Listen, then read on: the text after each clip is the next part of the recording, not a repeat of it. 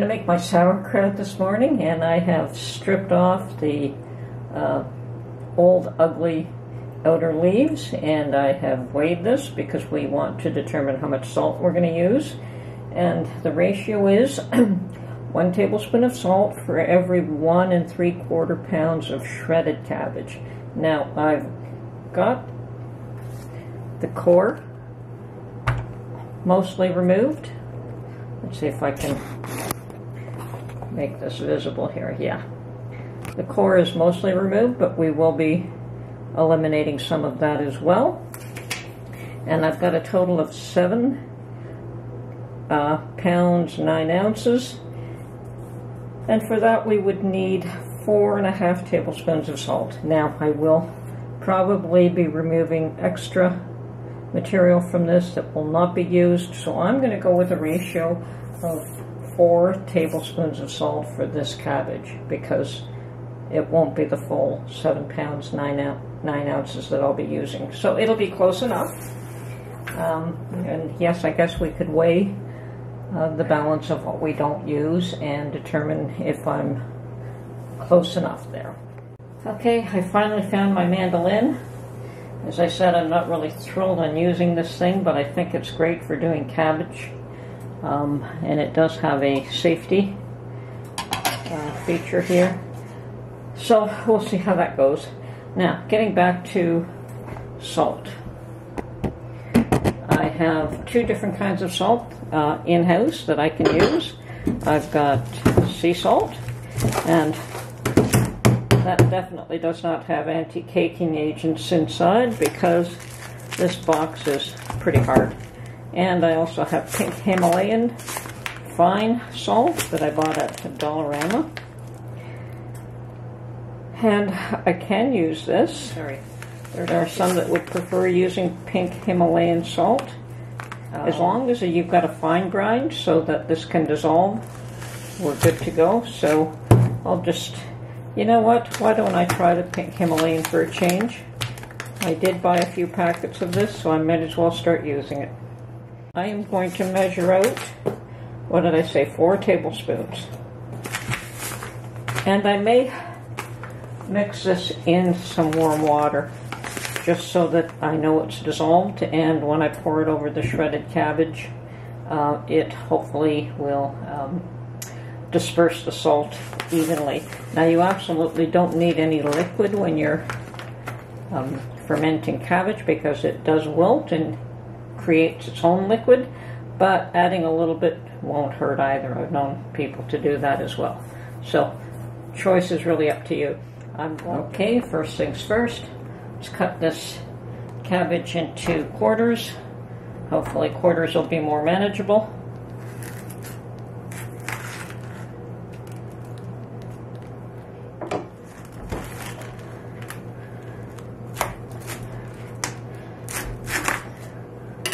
Okay, that was likely the worst part, but it's a nice tight cabbage. Okay.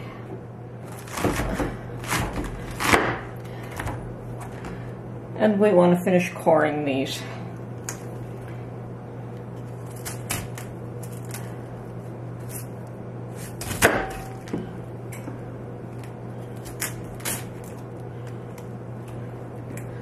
So I am going to save this to weigh it as well just for the idea of the salt. That one looks good.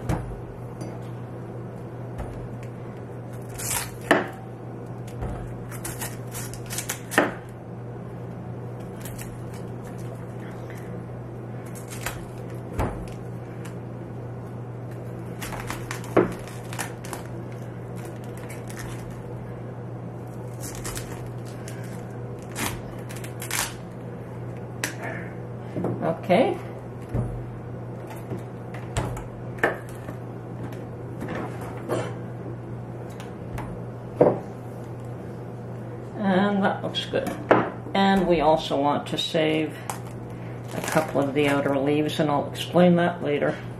Actually, that and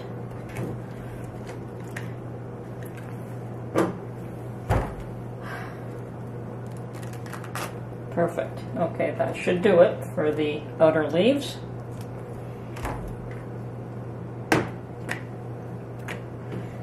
And let's put this aside. And first thing I'm going to do is measure out, and I do have my pink Himalayan sea salt in a jar here, and I'm going to measure out four tablespoons.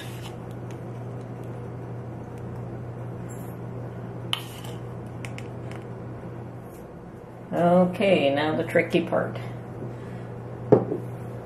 Got my knives.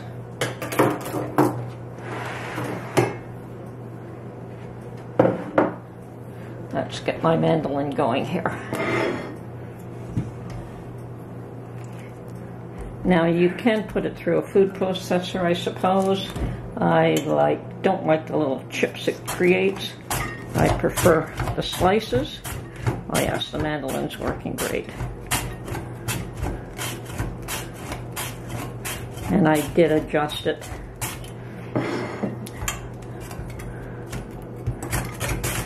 To the thinnest slices that I could make with this. And as I said, I'm not a fan of this tool.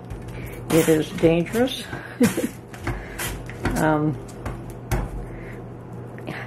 but if you know how to use it, it's an awesome tool. And I think that comes with practice.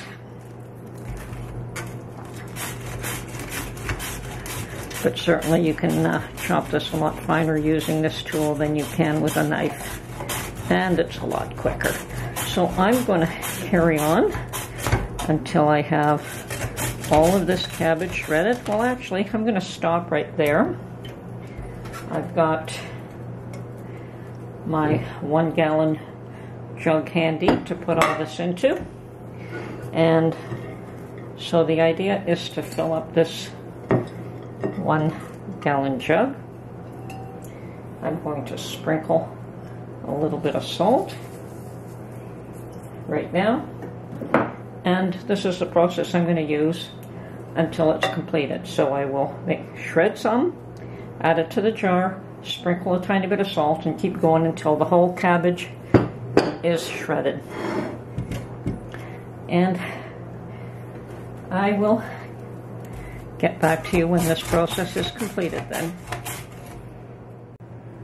Okay, I've got uh, at least another almost half of the cabbage yet to do uh, because I've left the smaller chunks to do by hand. I've got two of those. I've still got the third piece that's not quite done and another whole quarter yet to be done. So there's still a lot to do, but uh, my jar is just about full. And one of the things that is always recommended is to squish it all down. Now this helps to bring out the juices. From my perspective, this is not totally necessary. The cabbage will wilt in a few hours anyway, and the juices will come out. But I'm going to do this in order to try and get the whole cabbage into this one container. So,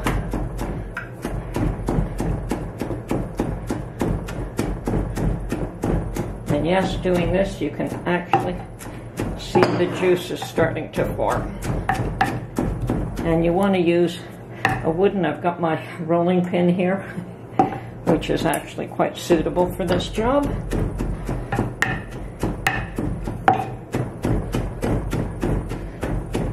Believe it or not, it does not hurt the cabbage at all to do this.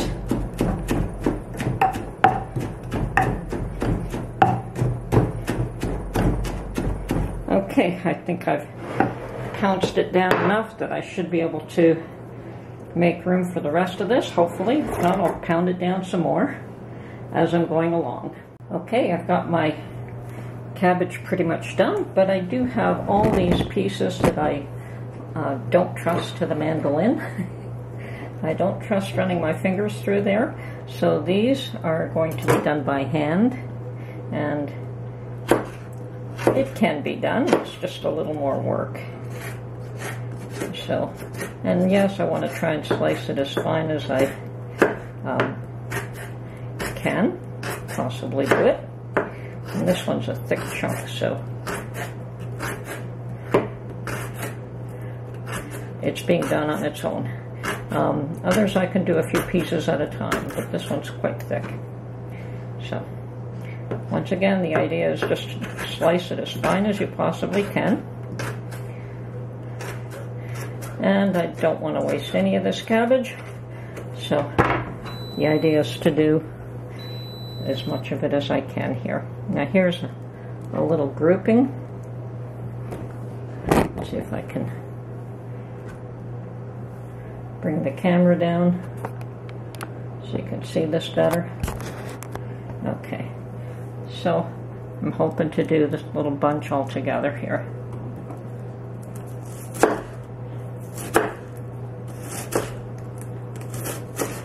And it will mostly be possible.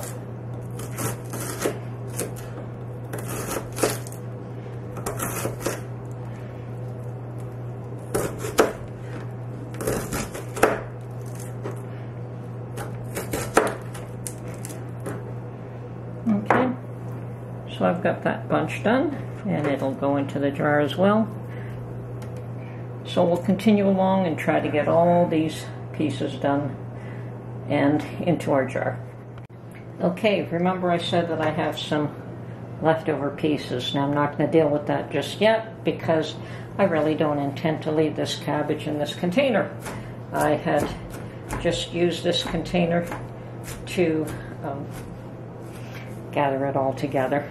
I want to put this cabbage in two half gallon jars, um, but I want to, at this point, wait until it has wilted a bit and the salt has permeated this mixture. And so I'm just going to scrunch this down and leave it for a couple of hours until it, it wilts a little bit more and then we will stuff this into half gallon jars. I could have done that initially, I suppose, but I wanted to make sure that the salt ratio was pretty consistent throughout the whole thing. And what I'll probably do is pour this into a large pot, mix it all up once it has wilted somewhat. And yes, I don't know if you can see that, but there is liquid forming already.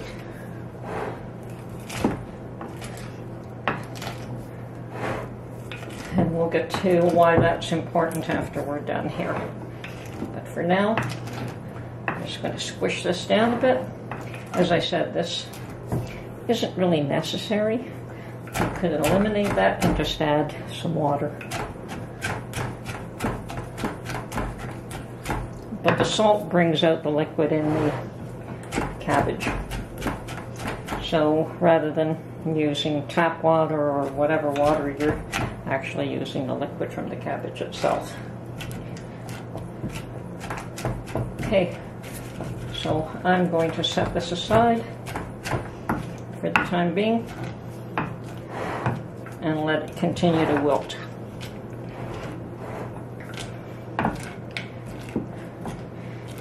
And we'll come back after a couple of hours. Oh yes. You can see pockets of liquid there already. Okay. Pretty easy. Just a matter of slicing it all up fine. And if you choose to use a food processor, that works as well. I just, it's not my favorite method. I like the shreds rather than tiny bits. Okay. Okay, I've put my sauerkraut in a large pot, mostly so I could just mix it all up, make sure that the salt was evenly distributed. And I could have done this from the start and omitted this, um, putting it in the other jar and getting that dirty, but I guess I just didn't think of it. Now, it's somewhat wilted, and I'm liking it. I like the taste. Mm. In the past, I think I used to make it too salty because I didn't measure the amount of salt I was using. So that's important to note. Excuse me. Mmm, crunchy and very nicely tasting. Okay, I've got two mason jars here. Sorry, two half gallon mason jars. In turn, fill each one of these up. Try to get the same amount in each one.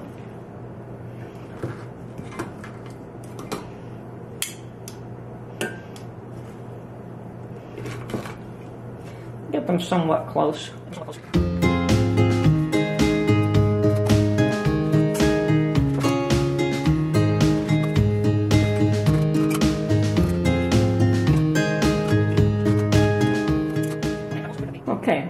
Also could have made the coleslaw directly in these jars, but I just wanted to get my salt ratio correct, so I decided to do it all in one batch. Because even when you're cutting your cabbages in quarters, they're not exact quarters, so I would have had to cut them, measure them, and then measure salt for each piece that I weighed, which would have worked as well.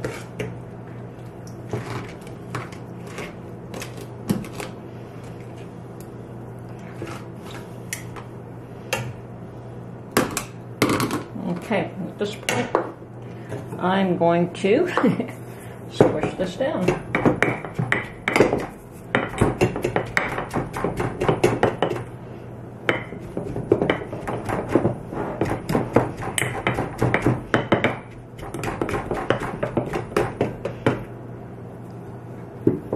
And we'll continue along.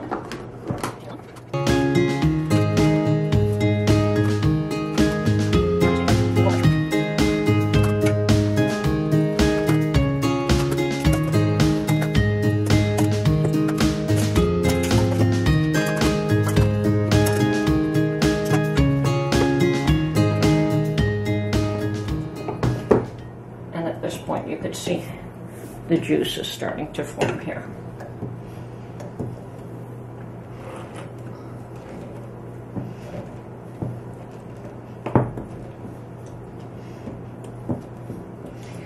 In this pot, I also have a whole bunch of juice that was made, or extracted from the cabbage, and we want to pour that right back in there.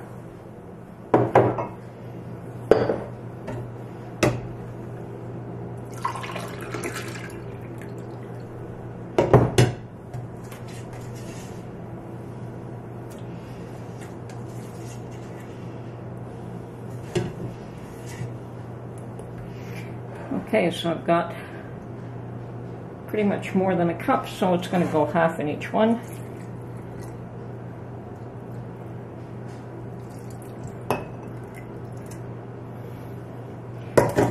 Very good. That's what we wanted, lots of this juice to form. So we'll just continue pressing this down.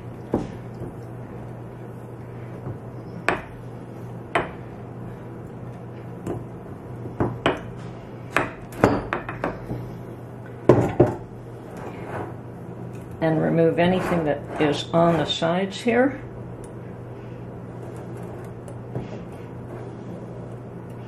And that's where these cabbage pieces come into play now.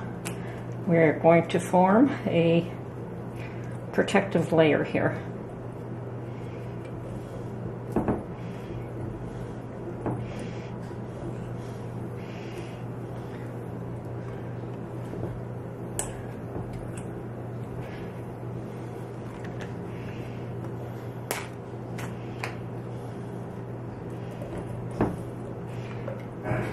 to keep air out.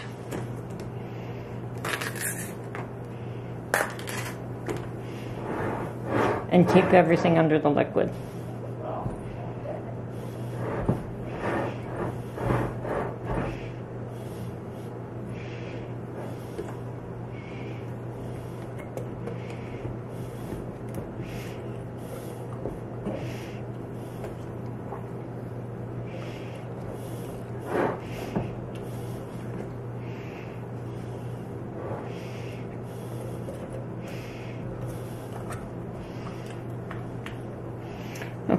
Step one.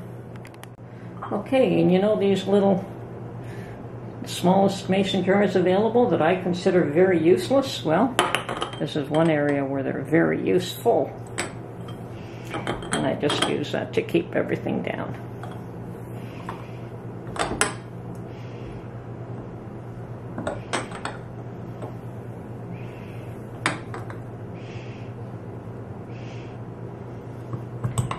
And you can see, everything is under liquid there. Now,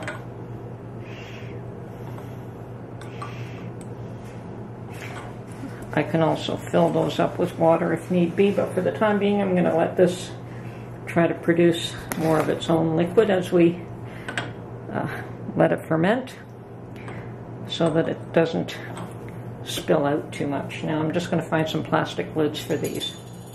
And you don't want metal because the salt will corrode the metal. So if you don't have two plastic lids, just put a coffee liner or some parchment paper in between your metal and the glass. Now, at this point, you don't want this tight. You want it to be able to ferment. You may want to put a dish underneath this in case it uh, the liquid overflows the jar. You don't want spillage. And you leave this for approximately three weeks. And then you should have a very awesome tasting sauerkraut. I've tasted it. I like the taste of it. So far, so good. When it matures, it should be awesome. Okay, that's it for now. Hope you enjoyed this video, and we'll catch you on the next one. Oh, and as you can see, the hardest part of making sauerkraut is shredding the cabbage.